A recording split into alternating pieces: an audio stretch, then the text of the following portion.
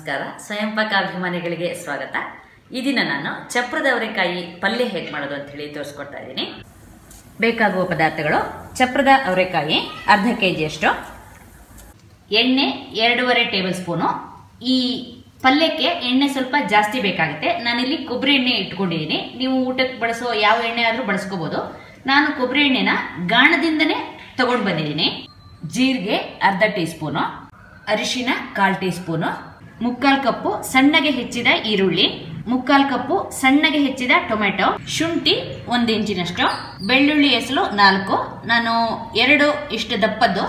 ಆಮೇಲೆ ಎರಡು ಸಣ್ಣದನ್ನ ಇಟ್ಕೊಂಡಿದ್ದೀನಿ ಪುಡಿ ಮಾಡಿದ ಹಸಿ ಕೊತ್ತಂಬರಿ ಬೀಜ, ಅರ್ಧ ಟೇಬಲ್ ಸ್ಪೂನು. ಪುಡಿ ಮಾಡಿದ ಹಸಿ ಜೀರಿಗೆ, ಒಂದು ಟೀ ಸ್ಪೂನು ಹಚ್ಚಿಮೆಣಸಿನ ಪುಡಿ, ಮುಕ್ಕಾಲು ಟೇಬಲ್ ಸ್ಪೂನು. ನಿಮ್ಮ ಖಾರದ ಅಪೇಕ್ಷೆ ಮೇಲೆ ನೀವು ಹೆಚ್ಚು ಕಡಿಮೆ ಮಾಡ್ಕೋಬಹುದು ಕರಿಬೇವಿನ ಎಲೆ ಹತ್ತು. ನೀರು ಎರಡು ಟೇಬಲ್ ಸ್ಪೂನ್ನಷ್ಟು ನೀವು ಬೇಕಂದ್ರೆ ಅದನ್ನ ನೋಡಿ ಹಾಕೊಳ್ಳಿ. ಲಿಂಬೆಹಣ್ಣು ಅರ್ಧ ಹೋಳು. ಉಪ್ಪು ರುಚಿಗೆ ತಕ್ಕಷ್ಟು ನಾನಿಲ್ಲಿ ಒನ್ ಟೀ ಸ್ಪೂನ್ನಷ್ಟು ಇಟ್ಕೊಂಡಿದ್ದೀನಿ ಈ ಚಪ್ರದವರೆಕಾಯಿನ ಸಣ್ಣದಾಗಿ ಹೆಚ್ಕೊಳ್ಳೋಣ. ಬೆಳ್ಳುಳ್ಳಿನ ನೀವು ಪೇಸ್ಟ್ ಮಾಡ್ಕೋಬೇಕು. ಅಥವಾ ನೀವು ಈ ಕುಟಾಣಿನಲ್ಲಿ ಹೀಗೆ ಜಜ್ಜಿಕೊಂಡ್ರೂ ಆಗತ್ತೆ. ಹಾಗೆ ಶುಂಠಿನೂ ಕೂಡ ಹಾಕಿ ಇದನ್ನು ಕೂಡ ಚೆನ್ನಾಗಿ ಜಜ್ಜಿಕೊಳ್ಳಿ. ಬಾಣಲಿಗೆ ಎಣ್ಣೆ ಹಾಕಿಬಿಟ್ಟು ಕಾಯ್ಲಿಕ್ಕಿಡಿ. ಎಣ್ಣೆ ಕಾದ್ಮೇಲೆ ಜೀರಿಗೆ, ಕರಿಬೇವಿನ ಎಲೆನ ಮುರಿದ್ಬಿಟ್ಟು ಹಾಕಿ. ಶುಂಠಿ ಬೆಳ್ಳುಳ್ಳಿ ಪೇಸ್ಟು. ಸ್ವಲ್ಪ ಹುರಿರಿ ಇದನ್ನ ಹಾಗೆ ಕೊತ್ತಂಬರಿ ಬೀಜದ ಪುಡಿ, ಜೀರಿಗೆ ಪುಡಿ, ಅರಿಶಿಣ. ಇದನ್ನು ಸ್ವಲ್ಪ ಹುರಿದಿ.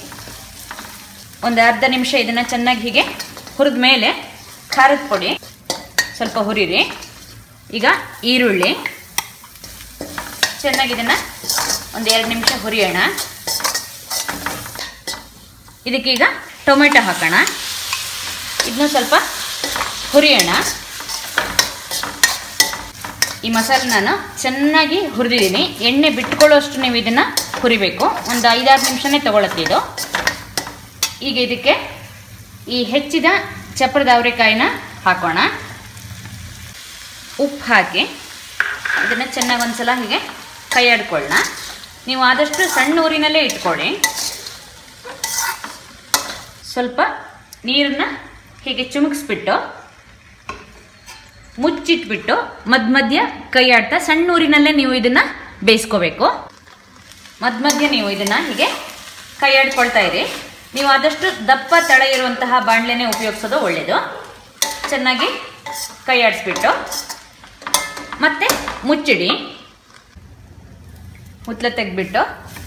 ಇದನ್ನ ಚೆನ್ನಾಗಿ ಹೀಗೆ ಒಂದ್ಸಲ ಕೈ ಆಡಿಸ್ಕೊಂಡು. ಹೋಳು ಬೆಂದಿದೆ ನೋಡಿ ಈಗ ಮೆತ್ತಗೆ. ಇದಕ್ಕೆ ಲಿಂಬೆಹಣ್ಣು ಹಾಕಿ. ಚೆನ್ನಾಗಿ ಒಂದ್ಸಲ ಕೈ ಆಡಿಸ್ಕೊಳ್ಳೋಣ. ಈಗ ನಿಮಗೆ ಚಪ್ರದ ಅವರೆಕಾಯಿ ಪಲ್ಯ ಸಿದ್ಧವಾಗಿದೆ. ಮಸಾಲೆ ಹಾಕಿಬಿಟ್ಟು ಚಪ್ರದ ಅವರೆಕಾಯಿ ಪಲ್ಯನ ಹೇಗೆ ಮಾಡೋದು ಅಂತ ಹೇಳಿ ನೋಡಿದ್ರಲ್ವಾ? ನೀವು ಕೂಡ ನಿಮ್ಮ ಮನೆಯಲ್ಲಿ ಈ ಪಲ್ಯನ ಮಾಡಿಬಿಟ್ಟು ನಿಮ್ಮ ಅಭಿಪ್ರಾಯನ ತಿಳಿಸಿ